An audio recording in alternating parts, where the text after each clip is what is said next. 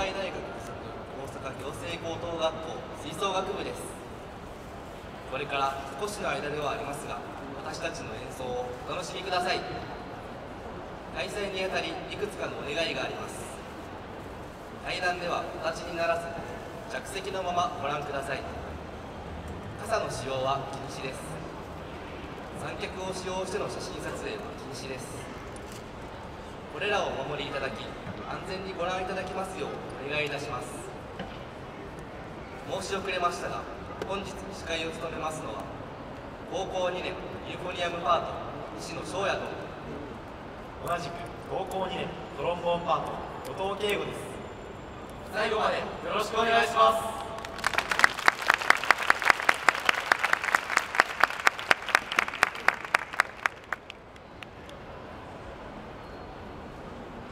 初にお送りします曲は宮川明作曲「ファンファンファンタスティコ」です。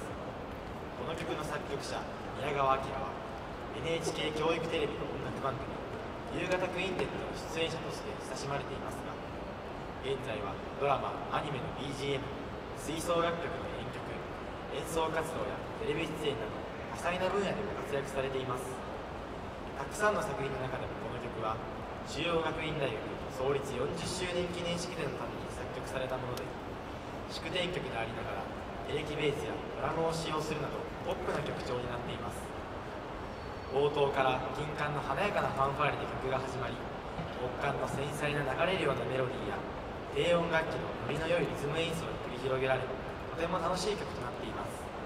また曲中には皆様をワクワクとしたおもちゃの世界へご招待します。をモットーに活動している6人のガールズチャッピーズも登場します。アトラックを教えたい木下奈美や小東かな子の指導のもと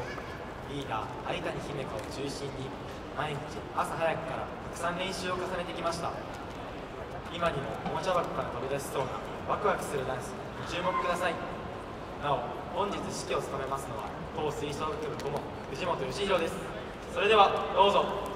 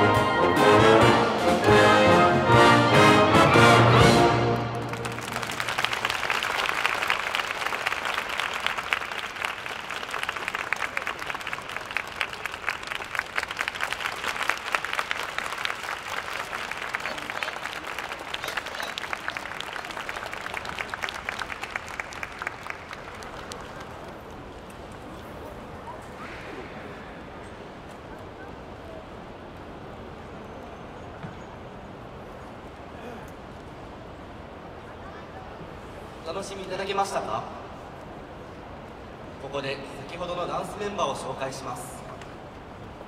高校2年駒江由衣子大野美希土井文香相谷姫香松本真理子福田芽衣以上高校生6名チャッピーズでした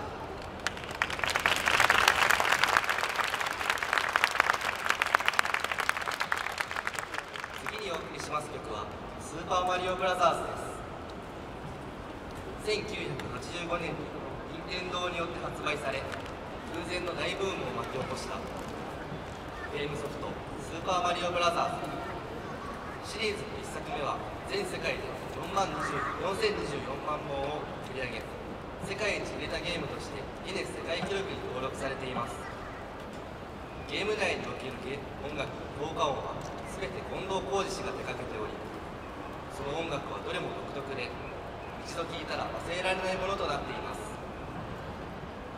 この曲はそのゲーム中に使われているさまざまな曲をメドレーにしたもので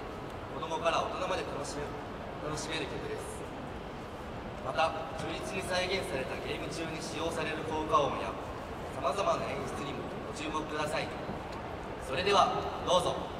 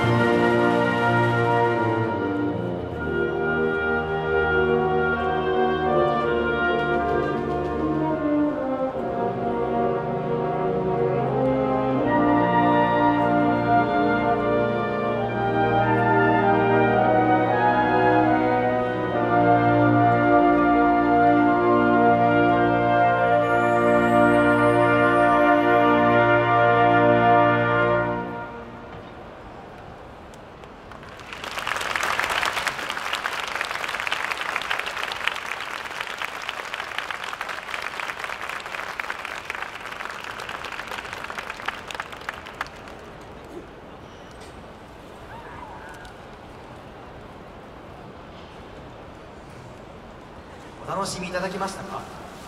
次にお送りします曲は「レモン」です。この曲は米津玄師のメジャー8枚目のシングルでありテレビドラマ「アンナチュラル」の主題歌として書き下ろされました。大切な人を失った悲しみを歌っており切なくも美しい音楽で生と死が巧みに表現されています。ユーフォニアムとフルートのソロから曲が始まりさまざまな楽器へとメロディーが移っていきます。た曲中にあるアルトサックスのソロにもご注目ください。なおここからは高校1年生を交えた総勢134名の演奏でお送りします。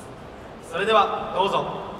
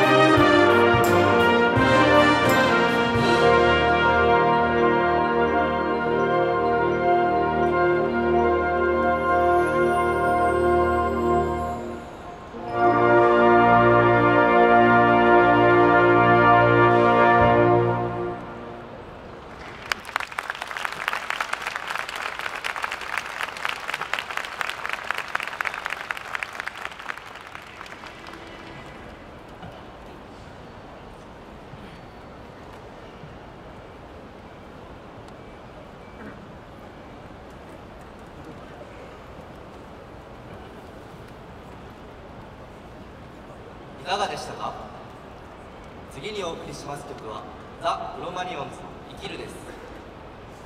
この曲はテレビドラマ3年 A 組今から皆さんは人質です。の主題歌として使われました。前向きな歌詞と少し変わった歌い出しサビの耳に残るメロディーが特徴的な曲となっています。さまざまな楽器のメロディーや演出にもぜひ注目してみてください。それではどうぞ。